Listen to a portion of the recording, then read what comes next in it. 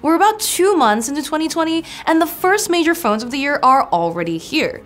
This year, Samsung unleashed a trio of new flagships in its S20 series, and for the first time, it introduced a souped up Ultra variant alongside the regular S20 and S20 Plus. The S20 Ultra is big and beefy, although with a starting price of $1,400, it's also hella expensive. It does offer intriguing features though, like a triple camera setup that can shoot at 108 megapixels and also zoom up to 100 times. The S20 Ultra's feature and specs list is long and impressive, but are the updates useful enough to justify dropping all that money? There are a few things you should consider, the first of which is the Ultra's size. Holy crap, is it huge. As my colleague Chris Velasco so eloquently put it, the S20 Ultra is a chunky boy. Thick with 7 Cs.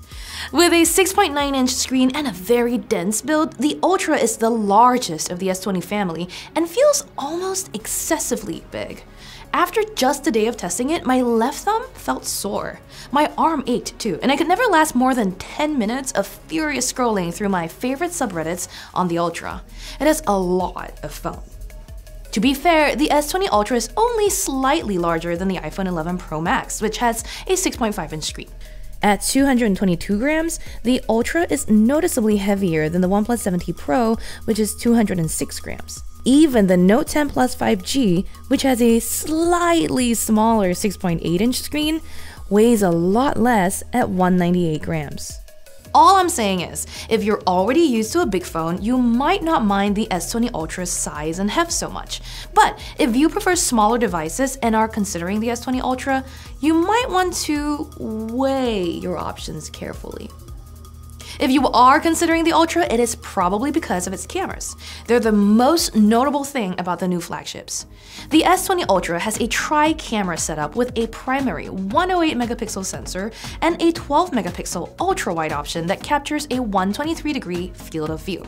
The most interesting of the lot though is the 48 megapixel telephoto lens folded into the chunky bump on top of this already giant phone's behind.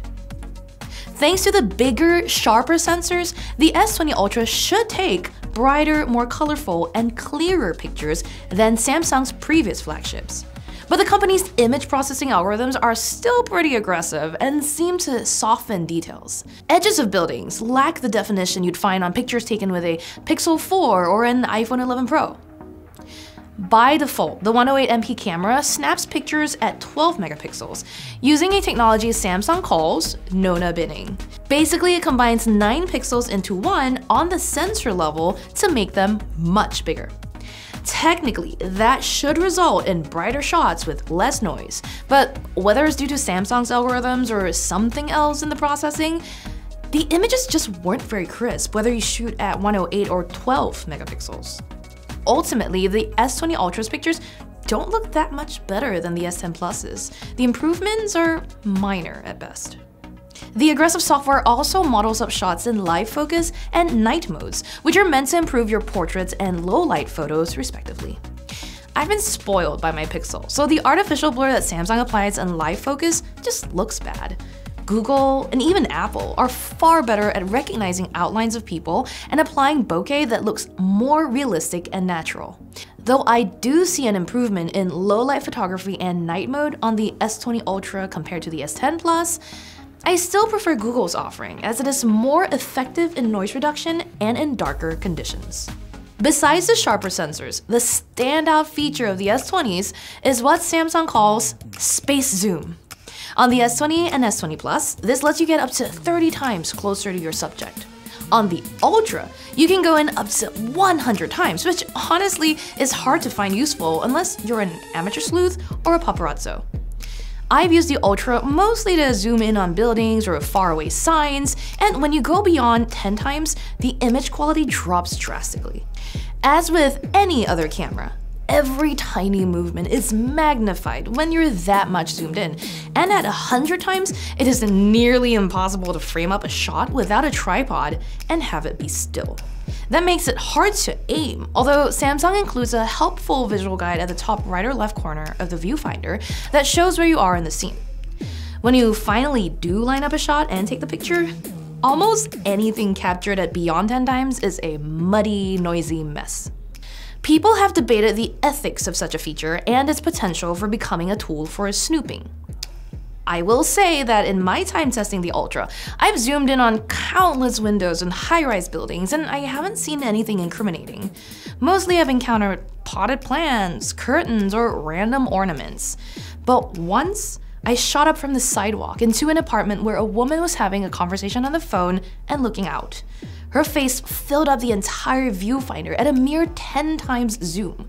And while I'm sure that she didn't know I was that up close, it felt like she was staring right at me. I immediately felt uncomfortable and I put the phone down. Yes, space zoom is potentially creepy. Should Samsung have made it? I'm not sure, since the quality of the resulting zoomed in pictures aren't that great. But ultimately, whether this becomes an invasive feature boils down to how you use it. And the most persistent stalkers and paparazzi are going to find ways to snoop whether or not the Ultra exists. Moving on to a more fun addition to the camera experience, the new single take mode. When you press the shutter button in this mode, the S20 captures a variety of shots and videos from all the cameras.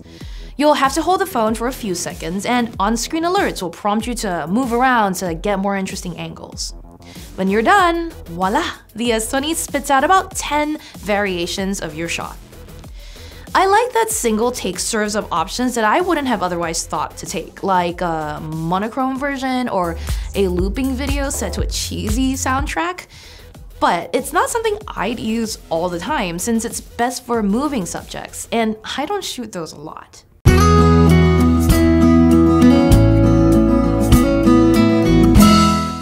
Parents of human and fur babies, for example, might find this more worthwhile. Another thing I didn't find that useful was 8K video recording.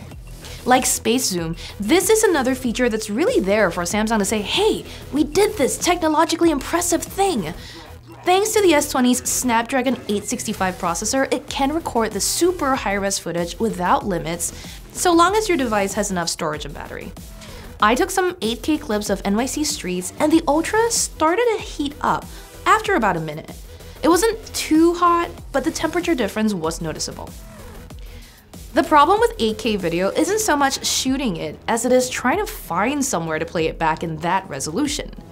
The S20 Ultra's screen is just 2K, so watching it on that display won't give you the full impact, and edges of buildings just look distorted because they're so sharp. Samsung's solution is to make it easy for you to cast your video to one of its 8K TVs, which are about as easy to find in the wild as a panda bear. You can also upload it to YouTube, but again, you'll have to find a super high resolution screen to watch it on after to really appreciate the quality.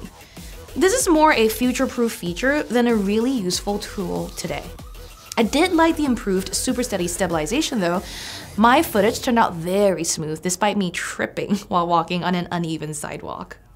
Although watching 8K videos on the S20 Ultra is a silly idea, it's still a lovely canvas.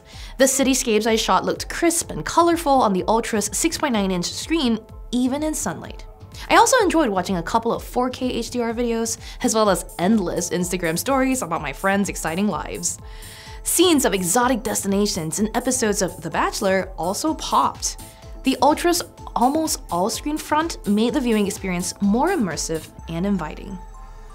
One of the highlights on the S20 series is their 120Hz displays, which allows them to refresh much faster than other phones. Since so much of my activity online involves scrolling, whether it's my Instagram or Twitter feeds or a random Reddit binge, I thought this new feature would be a huge improvement. But my eyes quickly adjusted to the updated refresh rate, and although I appreciated the smoother scrolling, I didn't find myself missing it when I went back to my Pixel 3.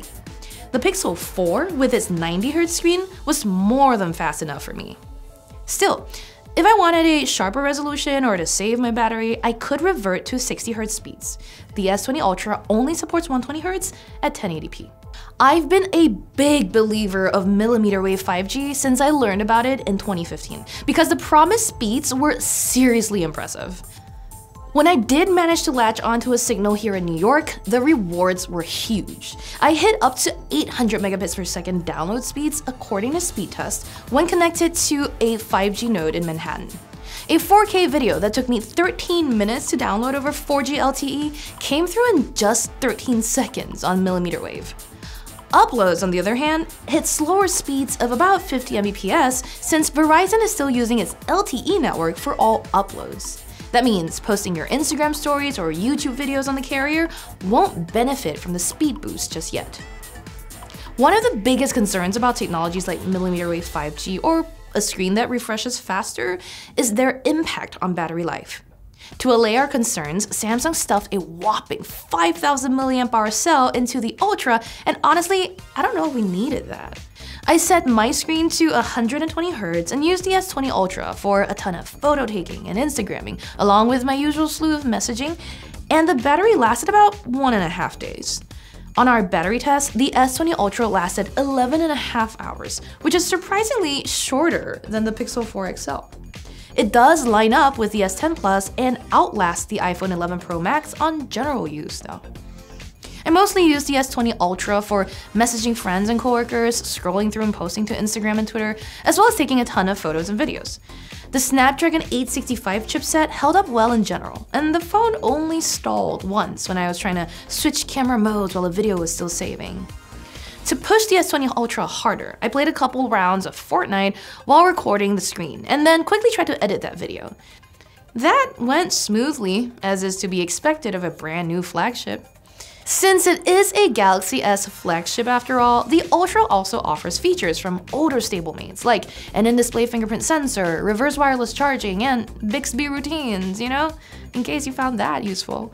You'll also get the standard set of preloaded apps from Samsung, Google, and Microsoft. But for some reason, Netflix and Facebook also came installed. That's fine, most people use these apps. But for those who don't, or if you're against Facebook on principle like I am, the bad news is you can't uninstall either of these. Your only option is to disable them, which removes them from your app drawer and silences notifications.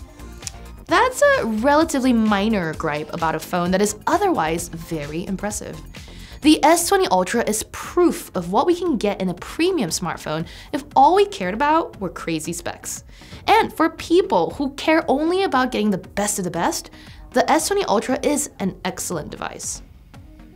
The rest of the world might be more concerned about practical questions like, is this a worthy upgrade for my two-year-old phone? Do I need something I can easily use with one hand? Or can I stand using something this heavy to read on the plane? For those looking to upgrade from an older device, bear in mind that Samsung cut the prices for the S10 series, which are still a big jump up from older flagships. The S20 Ultra starts at $1,400, which is the same price as two Galaxy S10es with some change. For comparison, the smallest S20 starts at $1,000, which is what the iPhone 11 Pro costs at the same level. If you don't need the most advanced phone available, the S20 Ultra is almost certainly overkill. Few of us need anything this overpowered. It's hard to imagine situations where the S20 or S20 Plus wouldn't be enough. If you have the cash to burn, you're getting plenty of everything that matters. Just remember that you don't need to spend this much for a great smartphone. For reviews and analyses on all the other smartphones and devices you could possibly buy, make sure to subscribe to Engadget.